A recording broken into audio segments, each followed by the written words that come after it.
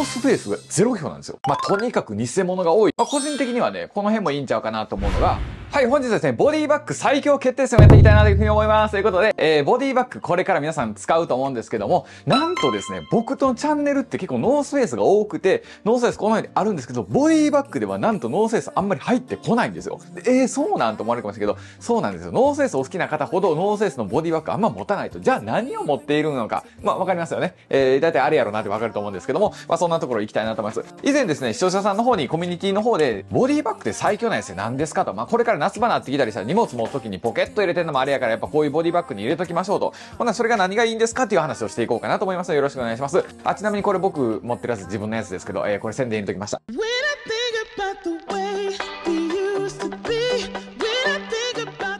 早速行きたいなと思うんですけども、まず一つ目っていうのが、こちらグレゴリーですね。このテールランナーという、えー、割とコンパクトめなボディバッグが入っておりました。長財布がね、入るかちょっと微妙なところなんですけども、一応入るのは入るけど、出し入れしづらいっていう、このパツパツ状態。これで良ければ一応入ってるのは入ってますけどもね、えー、長財布もギリ入るかな。出し入れ、入れるときはめんどくさいかな。出すときはそんな簡単やけども、入れるときめんどくさいという感じで、背負った感じはこんな感じですね。このレザーがね、ちょっとワンポイントなるかかもしれないですけどね、こんな可愛い感じのね、え、バッグ、グレゴリのテールランナーいいんちゃうかって言ってくれてる方がいらっしゃいました。でね、それ以外にやったらやっぱりめちゃくちゃ多かったのがね、マンティス2、アークテリクス、アークテリクスマカ2、そしてマンティス2、そういうお声がね、非常に多かったです。で、マンティス2ってまあもうこのね、動画見ていただいてる方はご存知だと思うんですけど、これ今マジで手に入らへんらしいです。アークテリクスの正規店行くじゃないですか。でもこれとかも絶対置いてないっていうぐらい、もうほぼなくて、入ったらすぐ売れ、入ったらすぐ売れっていう状状態で、結構品薄ならしいんですね。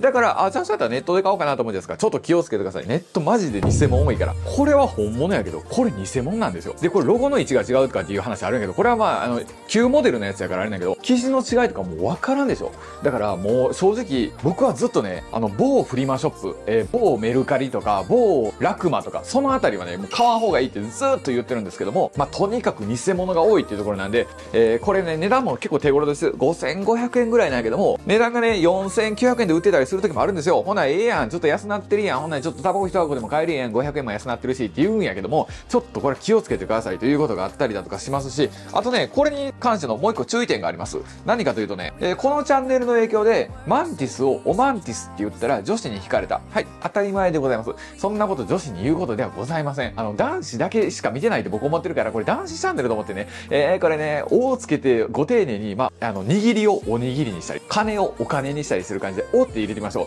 卑猥な言葉になりますかって喜んで言ってるけど、これ男同士だから盛り上がってるけども、これをね、女子に言って、女子嬉しいわけがないから、これどういう反応を求めてたんかわからんけども、こんなこと言わんようにしてくださいね。で、ましてやこんなこと言ってもいいけど、僕の影響なんて一切言わんでてくださいね。僕はもう健全なチャンネルをモットーに運営しておりますので、よろしくお願いいたします。で、それ以外にやったらですね、こちらですね、ミステリーランチが入っておりました。でね、不思議なことに、こういうブランド、ミステリーランチとか、えグレゴリーとか入ってくんのに、ロースフェイスが0票なんですよ。それがすごいでしょ。え、ロースフェイス入ってこへんの？それは入ってこないんですよ。まあ、そんなことはどうでもいいですけど、これヒップモンキーというね、ボディバッグ。ちょっとワイルド系な感じかな？ミリタリーな感じだから、あんま女子好きじゃないかもしれんけど、もこれぐらいの容量があったら、旅行の時とかに助かるんですよね。旅行の時って、ちょっと海外旅行行くってやったらパスポート入れたりするでしょ。さすがにテールランナーでは入らない。これぐらい容量あったら見てください。長財布めちゃくちゃすっぽり入ってるし、それ以外にやったら全然、ちょっとしたデジカメとかも入れる。こう家族で旅行行ってね、写真とかシャーって撮って、まあ、マホじゃちょっと味気ないじゃないですか。せめてこうカメラとか。で、こんなんもう楽勝で入る。だから旅行の時なんかにはね、これぐらいの大きさって結構重宝したりするんですよね。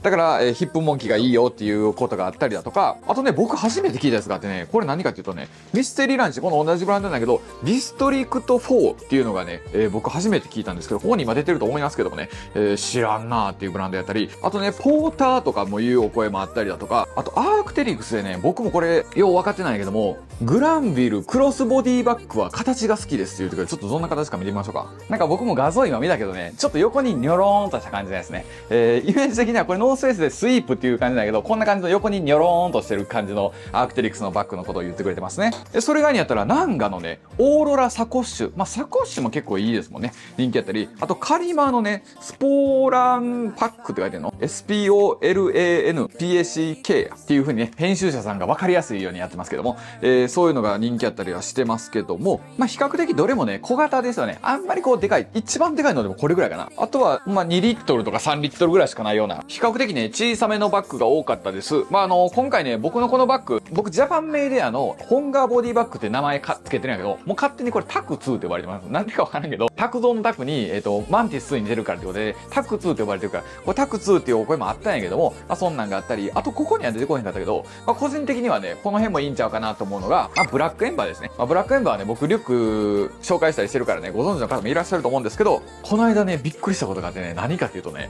ここのね、あの、カチャンってこう繋ぐ金具のとこわかります？このね、金具のとこ。普通ってこのタイプの金具じゃなくて、なんていうの？こう入れるタイプじゃないですか。ガチャンって入れるタイプで、こういうな磁石系のってあんま少ないんですよね。で、僕今リュック作ってるからね、この金具って部品どれぐらいするんかなと思ってね、そのカチャンタイプのやつは数十円であったんですよ。ああ、よく見るねと。リュックとかであるじゃないですか。ここ、ここ、この金具ね。よう見るでしょ。これほんま数十円、80円とかね、70円とかであったりするんですけどもね、もっと安くもあったりするけども、このマグネットタイプの方、なんぼするかって言ったらね、1000円近くします。めっちゃ高い。げあ、この部品だけですよ。あの、カバンじゃなくて、この部品だけでするからね。これブラックエンバー以外で僕今のところ見たことないんですけども、他のブランドとかでもね、あったりするかもしれんけど、それは結構原価かかってると思ってください。あの、そんな細かいことを言って、原価高いの買ったれっていう、いかにも関西人っぽい考え方やけども、これ何がいいってね、めっちゃ便利なんですよ。僕のなんかね、それついてないけどもね、こういう金具のやつだったらね、離しといて、パチンってこう近づいたらひっつけるんですよ。まあめちゃくちゃ楽やんってなってくるので、外す時もね、この紐をピュッて外してあげたらもう取れるんですよ。で、うわ、それやったらすぐ歩いてる最中もパスパス取れるんちゃいますの？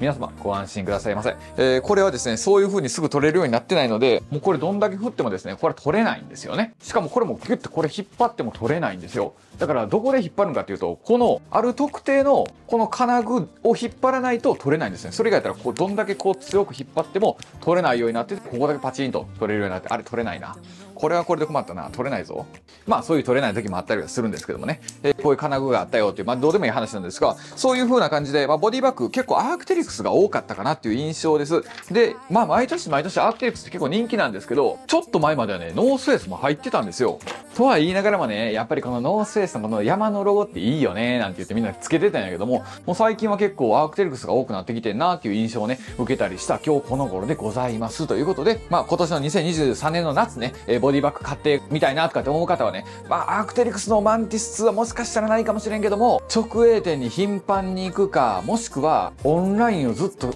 しきりに確認しとくか、一番可能性あるとしては、例えば ZOZO タウンとか、えっ、ー、と、楽天とか、まあ、そういったところでマンティス2って毎日調べてたら、どっかで在庫上がってくる可能性あるから、まあ、そこがいいとは思うんですけども、まあ、ZOZO タウン、楽天に関しても100%偽物がないとは言い切れないんで、基本的には正規代理店かどうか確認してからね、えー、購入された方がいいとは思うんですけども、まあ、買い方としてはそれぐらいしか今ないと思うんでね、メルカリとかね、フリマサイトとかではあんまり買わないことを僕は推奨しております。ということになっておりますので、えー、本日はですね、ボディバッグ最高決定戦はどれだというお話をさせていただきました。また別動画でお会いしましょう。ありがとうございました。